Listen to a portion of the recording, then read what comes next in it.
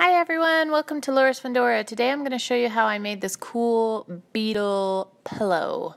So I just uh, put some tulle over my loom area, looked online, googled a beetle, and I found this one picture that I really liked and I blew it up. I super made it just huge, kind of the size I wanted to put on the pillow, printed it out, and then I just did the simple tambour embroidery stitch and followed the outline of the body and the head and and where the legs are going to be you know coming out of and stuff.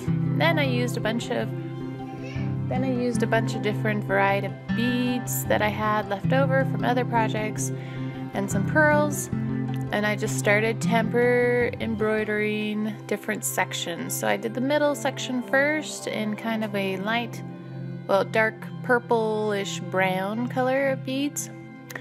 Then after that, I did the head part in a navy blue, and I let, I created some sections where I'm going to put the pearl beads in for the eyes. Then to add kind of uh, more detail, I added this kind of purple triangle next to uh, the purple section uh, to the back part of the beetle to add more depth and color.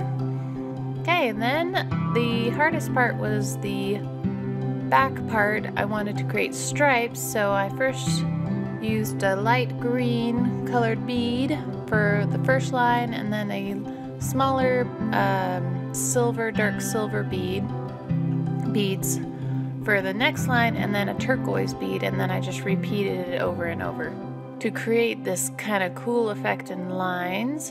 I did one wing and then the other wing area.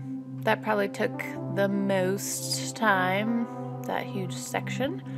And then I started tambour embroidering the legs. Now with the legs, you have to have that picture with you and just kind of, uh, I put a little pin where the joint was of each leg and then I would tambour embroider bead up to that point and then I'd pick up the piece of paper and match where the next end of the leg would be and put the pin down and that's how I created the straight lines of exactly where the legs lay out.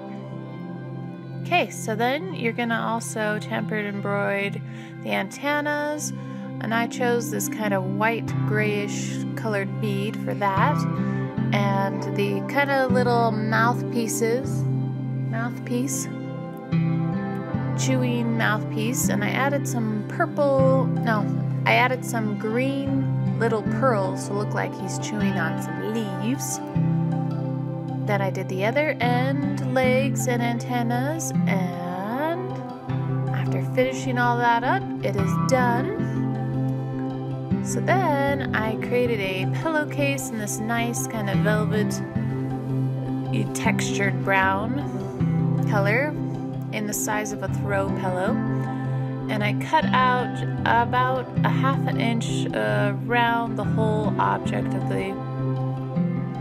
I cut out a ha- about a half an inch of tulle around the whole entire beetle and hand stitched it to the pillow exactly where I wanted. I kind of had to pin it to the pillow so it wouldn't move on me. Cut all the extra kind of tulle off and tuck that in and stuff the pillow and it's done.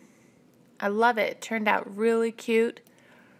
And I think it was just such a fun project. I think I'll do another one, maybe a blue pillow with a butterfly on it or something like that. But thanks for watching and please subscribe for more awesome videos like this.